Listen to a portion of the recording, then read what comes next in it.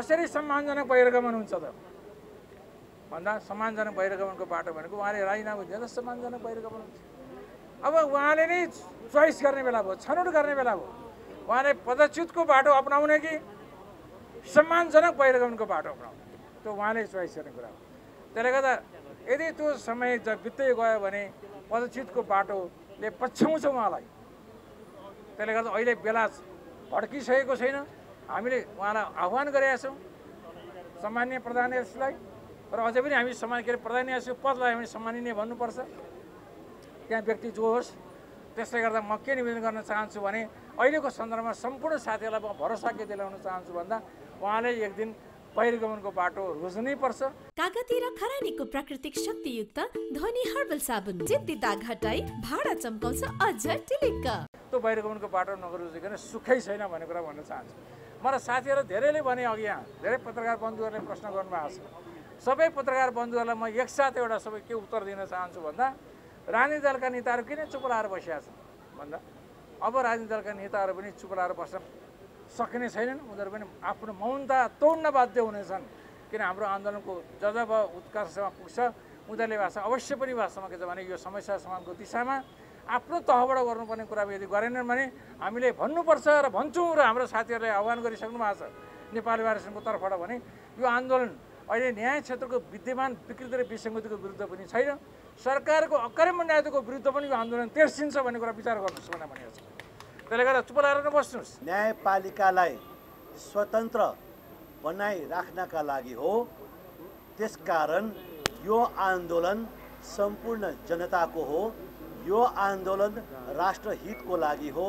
यो आन्दोलन नेपालको संविधानको रक्षाको लागि हो। यी सम्पूर्ण उद्देश्यहरू के का लागि भन्दाखेरि वर्तमान प्रधान न्यायाधीश सम्माननीय चोलेन्द्र शमशेर जङ्गबहादुर राणाजीले कायम गर्न सक्नु भएन।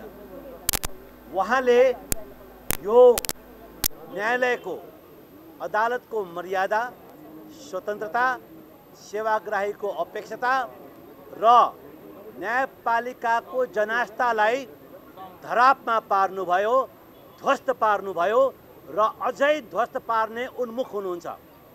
उहाँले न्यायपालिका र कार्यपालिका बिचको सीमारेखालाई समाप्त गर्नुभयो। उहाँले आफूलाई कार्यपालिकाको रूपमा रूपान्तरण गर्नुभयो।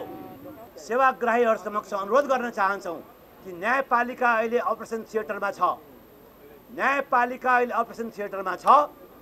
एउटा प्रमुख अङ्ग जो न्यायपालिका प्रमुखको रूपमा बस्नु भएको छ जसले न्यायपालिकाको मर्यादालाई ध्वस्त गर्न उन्मुख हुनुहुन्छ त्यो अङ्गलाई काटेर हटाउनु परेको छ। त्यस कारणले यो बिमार भएको न्यायपालिकाको अवस्थामा यहाँले धैर्य धारण गर्नुहोस्। हामी चाँडै यो न्यायपालिकालाई स्वस्थ बनाउँछौँ र तपाईँको अपेक्षा अनुसारको जनताको जनास्थालाई फेरि हामी उच्च बनाउँछौँ र स्वच्छ न्यायपालिकाबाट स्वतन्त्र न्यायपालिकाबाट राजनीतिक हस्तक्षेपविहीन न्यायपालिकाबाट कार्यपालिका हस्तक्षेपविहीन न्यायपालिकाबाट तपाईँहरूलाई न्याय प्राप्त हुनका लागि नै यो आन्दोलन जारी छ र यो आन्दोलन प्रधान न्यायाधीशको पदमुक्ति नभएसम्म निरन्तर जारी रहन्छ। प्रधान न्यायाधीशले कानुनी व्यवसायी सेवाग्राहीबाट विश्वास प्राप्त गर्नुपर्ने हो। त्यो विश्वासको परीक्षामा उहाँ असफल हुनुभएको छ। असफलताको कारणले गर्दा स्वाभिमान न्यायाधीशहरूको स्वाभिमानमा चोट पुगेको छ। स्वाभिमान कानुन व्यवसायहरू शिर झुकाएर हिँड्नु परेको अवस्था छ। सकसपूर्ण अवस्था उहाँले आफैले आफैले पैदा गर्नुभएको छ। उहाँलाई न्यायको बिक्री गरेर त्यत्रो रकम किन चाहिएको? किन चाहिएको? के न्याय बिक्री गर्ने वस्तु हो? कुनै हालतमा पनि होइन। न्यायलाई बिक्री गर्ने व्यक्ति बिक्री गर्ने व्यक्तिलाई न्यायको सर्वोच्च आसनमा बस्ने हक कहिले पनि हुन सक्दैन। त्यसैले यो स्थिति यो आन्दोलन उहाँको बहिर्गमनमा मात्रै टुङ्गिने प्रकृतिको आन्दोलन होइन।